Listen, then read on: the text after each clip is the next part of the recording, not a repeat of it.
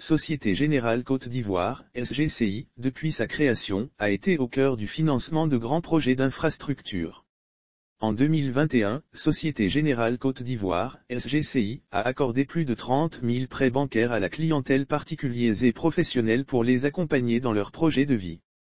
Accompagnement des PME Des projets d'activité de développement d'entreprises et d'infrastructures ont été financés par SGCI, grâce à l'amplification de l'accompagnement aux PME à travers plus de facilités au crédit.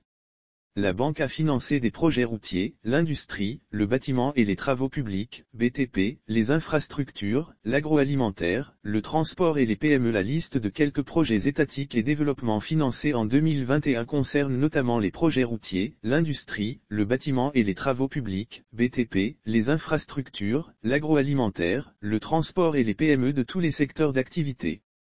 Lire aussi secteur bancaire, la Société Générale Côte d'Ivoire, SGECI, annonce des résultats semestriels 2021 en forte hausse en 2021, la banque a réalisé un résultat net qualifié D, historique en forte progression de plus 39%. Des résultats présentés comme étant la conséquence d'une bonne dynamique commerciale, d'une stratégie solide ainsi que d'une bonne maîtrise des coûts. Appui à l'éducation depuis 2019, la banque a décidé d'intensifier ses relations avec les PME.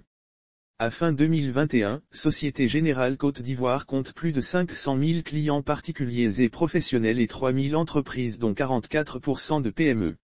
La banque a appuyé la formation et l'autonomisation des femmes depuis plusieurs années engagées auprès des communautés. SGCI s'est fortement investi dans la promotion de l'entrepreneuriat féminin. La banque a appuyé la formation et l'autonomisation des femmes depuis plusieurs années.